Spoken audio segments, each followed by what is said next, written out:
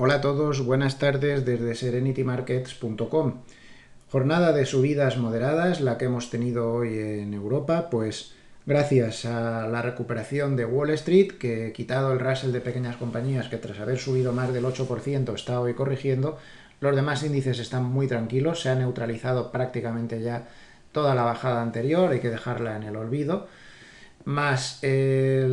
la reunión del Banco Central Europeo de hoy, que no ha dado ningún susto, mm, se ha mostrado con su tono Dobis habitual, Christine Lagarde, esto ha tranquilizado los ánimos, más muchos buenos resultados que se están dando con el Stocks 600, que tiene un 61% de las compañías que han publicado mejor de lo esperado, cuando la, la media histórica es de 51%, es decir, 10 puntos menos.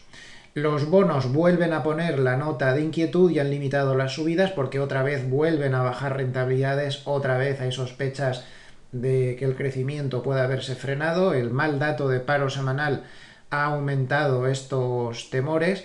pero eh, también hay otros expertos que dicen que los ajustes estacionales lo han distorsionado bastante. No obstante, y tenemos otra vez los bonos, con el bono americano a 10 años con una rentabilidad del 1,26%. Los niveles técnicos son muy claros. SP500 por debajo de la media de 50, es decir, de los mínimos de la caída peligro. Por encima de, de 4.400 podría incluso llegar a 4.500.